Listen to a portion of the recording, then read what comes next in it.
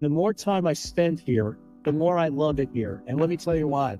This is a tremendously distinctive community. Those of you who grew up here, who has lived here for more than a couple of years, you know how special Lincoln is. And one of the things that makes Lincoln so special is the community spirit that exists here. You can't engineer that. You can't design that into a new community. We can do buildings. We can do open space, but we can't create this chemistry, this energy, this vitality that the city of Lincoln has. I met Vicki when I was, I'm on the uh, Lincoln Public Safety Foundation. So she said, you know, I'm with the Women's Club. I'm the president of the Women's Club. And she said, we'd like to do a building. Chelsea and I came out. We hung out with, with Vicki and a couple of the other uh, women from the Women's Club. And we just had a great conversation about what they would like to see, what they think. And we do what we do most of the time is not about our dream, it's about your dream. And what we do is people ask me what I do. I tell them I'm in the faith business. Faith is believing things not yet seen. And what we do, you have to have a lot of faith in us because you haven't seen it before. So that's where the faith comes in. So when we did this building, the biggest challenge was not to screw it up to preserve and respect what's been here for over 100 years. And this building is iconic within the community. And so what we tried to do was to pay homage to what was here without copying it exactly. What we what we come up with is is a building that um, we'd like to call it the sister building of this one.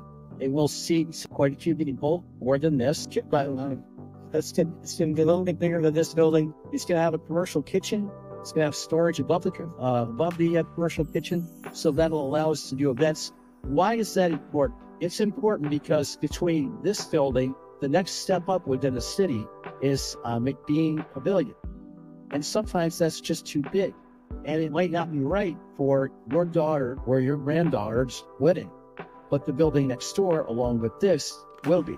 And so, what's the alternative? People have to go to Roseville, in. And what we want to do is we want to keep people in the city. That's the significance this building has.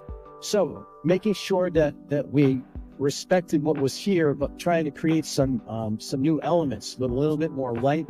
This is the the corner that would be right there. This is the entrance from the north. This is the large tree that's in the courtyard, which at this point we are required to keep we're going to have an arborist take a look at that. I, I met with the city manager the other day, and he said there that if it doesn't have a useful life of X amount of years, there might be an opportunity for that tree to go away, which would make it a lot easier for us to do what we want to do. Not that we don't love trees, but there's a time and a place for them, and they have a life cycle just like the rest of us. Then this is the, the main promenade entry, and this will be off the street.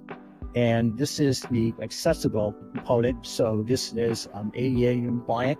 And as you stroll up to the building, with this little wall on your side, you'll hear water kind of on the other side. So you get to experience the space before you're even in the space. Within the building itself, uh, we've opened up the uh, the ceiling a little bit, and and it'll be similar to this, only it'll be brighter, so it'll feel a little bit more open. We're uh, believing that would be more elegant and a little bit different level of sophistication that is inherent to the charm of this building here.